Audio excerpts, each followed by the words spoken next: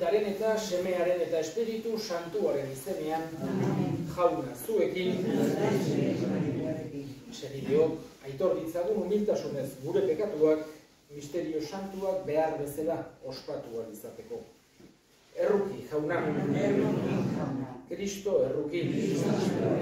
Erruki, jauna. Erruki dakigula jainko guzti zaltsua eta gure pekatuak barkaturik eraman gaitzala betiko bizitzara.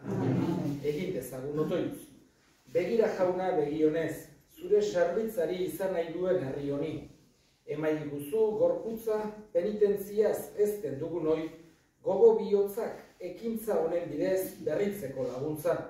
Zure seme Jesu Kristo gure jaunaren bitartez, zurekin eta Espiritu Santuarekin jainko eta errege bizi baita, gizaldi eta gizaldietan.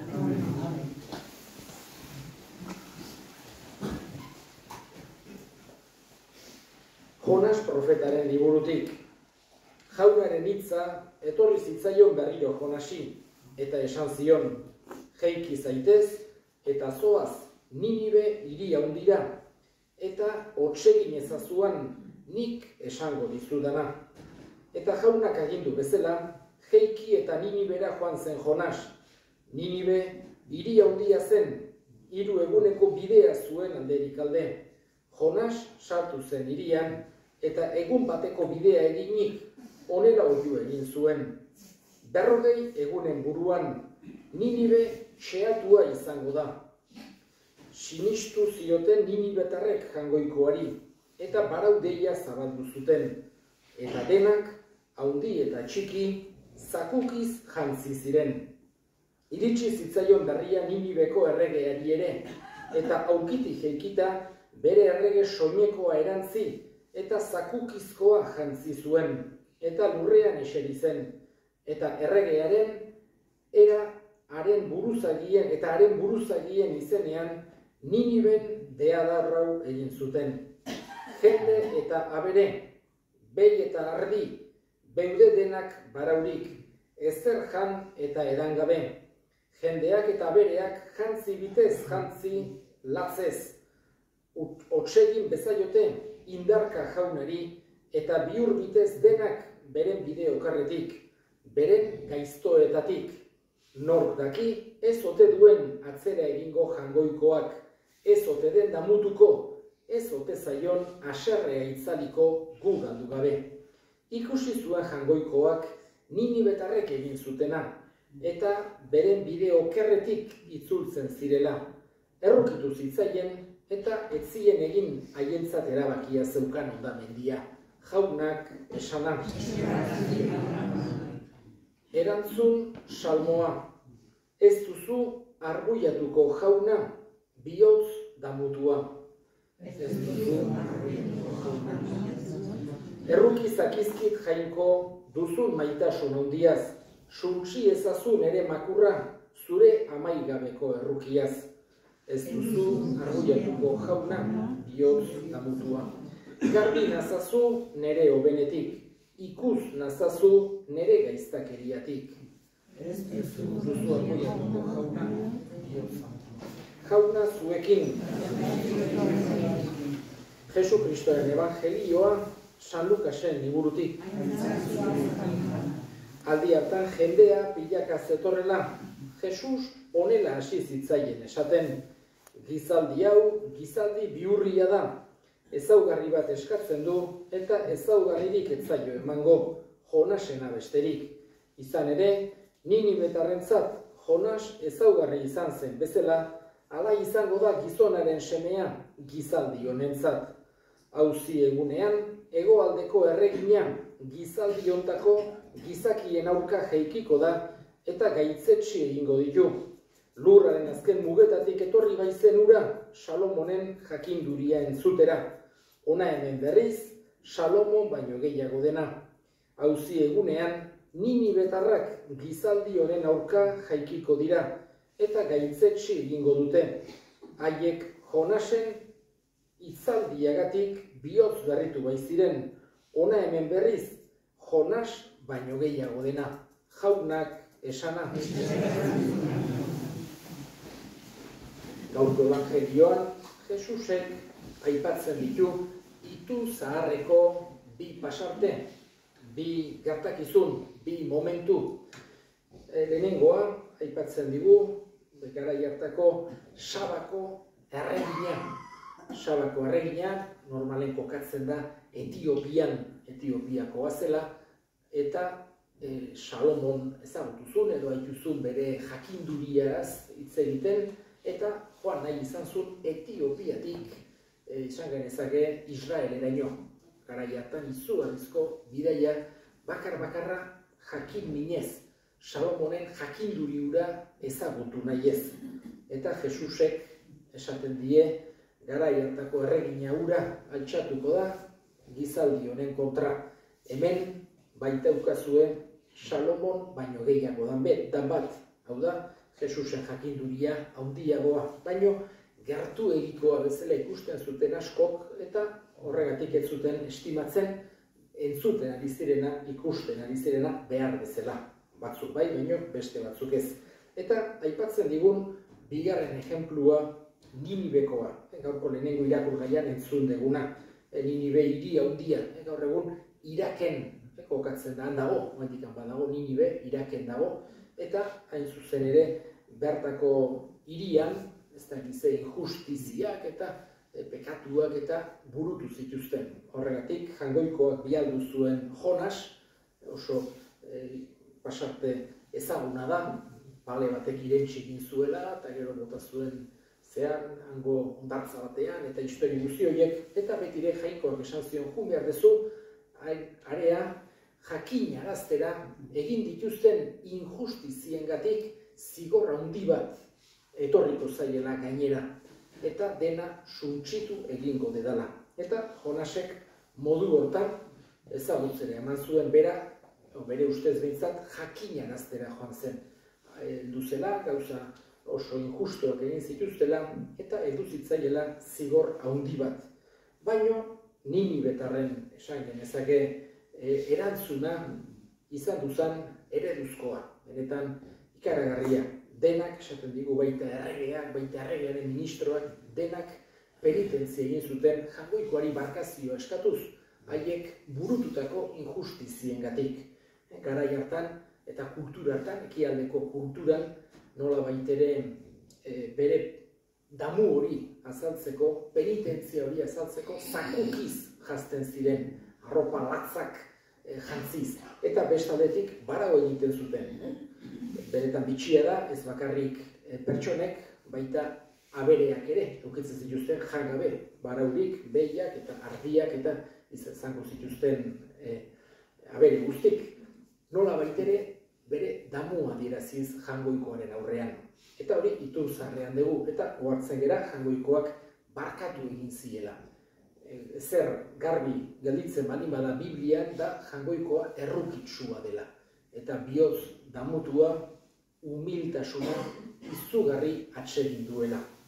Aldiz, sogarbia, undikeria, bere aurrean nola egon hori ez. Baina, humiltasun hori jangoikoak izugarri estimatzen du horregatik, indako eh, beren injustiziak munduko haundinak izan da ere, olako damua agertuta jangoikoak barkatu egin zion herriari eta etzun inongo zigorrik, inongo ondamendirik bialdu.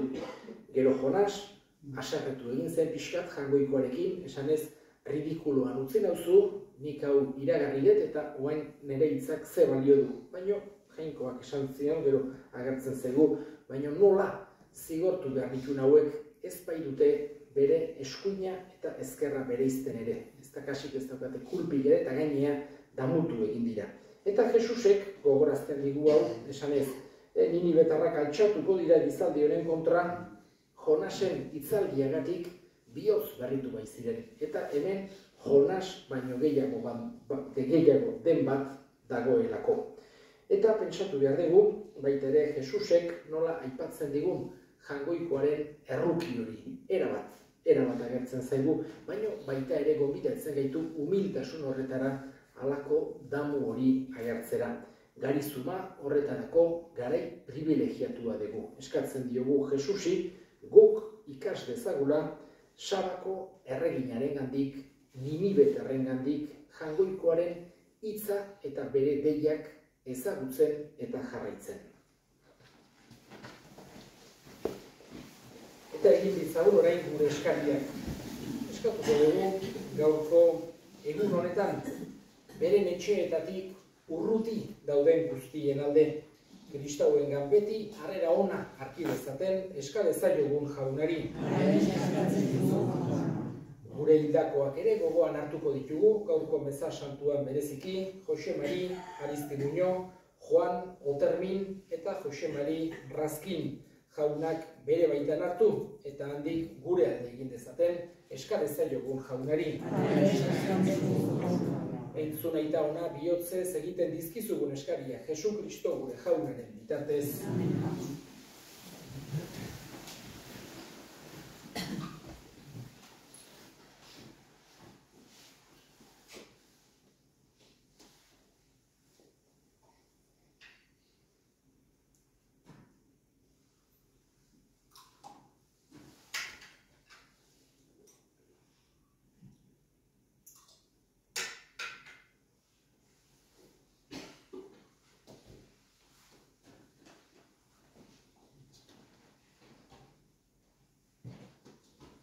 Jauna, zuk emandako doaiak ekarri ditugu zuri eskaintzeko.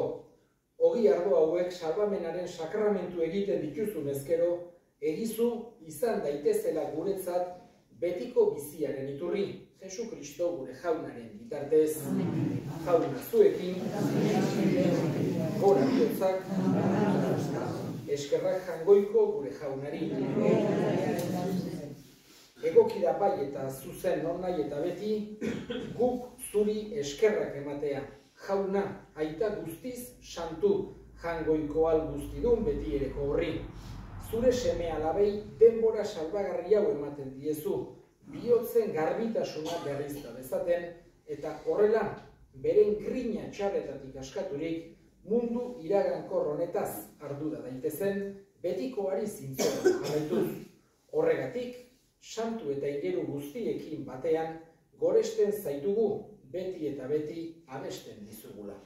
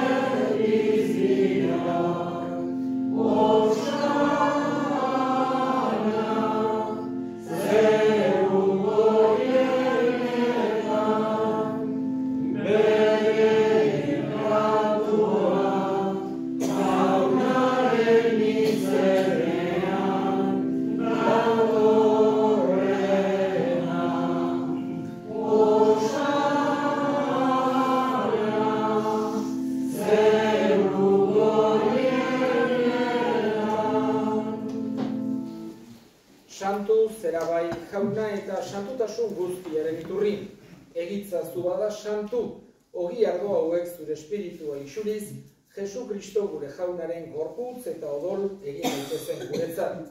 Berak, saldu zutenean eta bere gogoz, burutzera zijoala, ogi hartu, eta eskerrak eman ezatitu zuen eta bere ikaslei eman zien esanez. Artza zuen eta jan guztio kontatik. Hau nere gorputza data, zuentzat emango dena.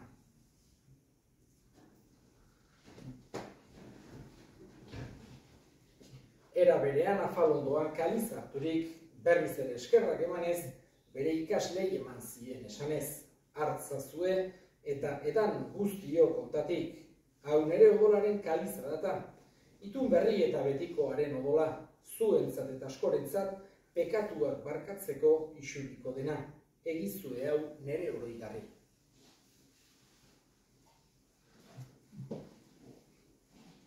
Hau da, sinismenaren misterioa.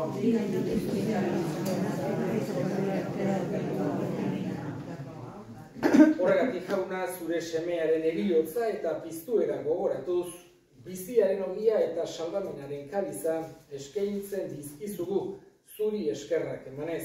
Aldarean zure sarbitzari onartu gaituzulako, eta apalki eskatzen dizugu kristoren gorputza eta dola hartzen ditugunok Espiritu Santuak bat egin gaitzala.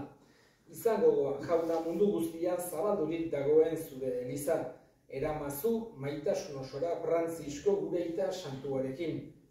Frantzisko gure hartzaiarekin eta eliz gizon guztiekin batean.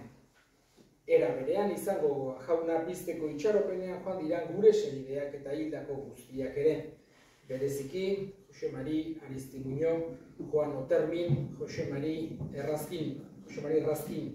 Arritza zuzure horpegiaren argitan, errukizak izkigu arren, guk guztiok betiko bizia nitz dezagun jainkoaren ama Maria Virginia Toatsuarekin, haren senar Jose Santuarekin, apostolu santuekin eta gizaldi guztietan zure adiskiden izan diren santuekin haiekin batean gore zaitzagun Jesu Kristo zure semearen bitartez. Honen bitartez, honekin eta honengan zuri eita jangoiko alguzti duen horri Espiritu Santuarekin batean, ospeta intza guztia gizaldi eta gizaldi guztietan. Salbatzaileak, aginduta erakutsiari jarraituz, bildur gabe esan bezagun.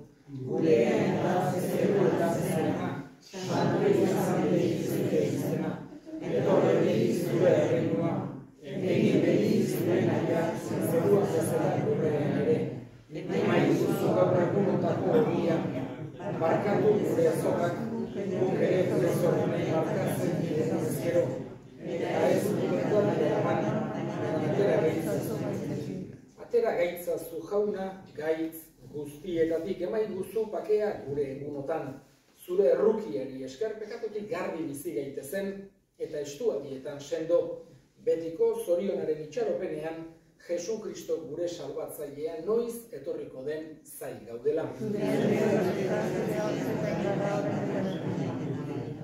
Jesu Kristo gure jauna, zuk esana da apostoluei pakea uzten dizuet, nere pakea ematen, begira zure elizaren sinismenari eta ez gure pekatuei, eta zure gogoan bezala emaiozu elizari pakea, eman patasuna, errege bizi baizera, gizaldi eta gizaldietan, jaunaren pakea beti zuekin, emaiozue pakea elkarri. Jangoikoaren bildotxa, Ona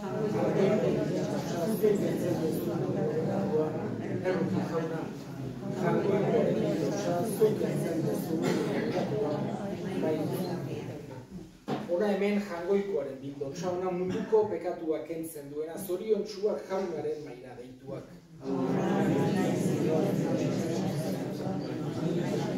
Amen.